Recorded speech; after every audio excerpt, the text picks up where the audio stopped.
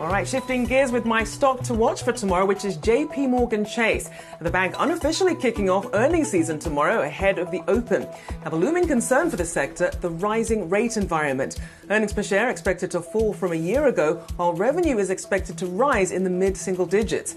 Analysts are watching most closely at what JP Morgan Chase chairman and CEO Jamie Dimon has to say about the state of the economy, consumer spending, and the investment banking business, which is likely coming under pressure amid market volatility. The stock is down nearly 30% so far this year, underperforming its peers and down slightly in after hours trading as well.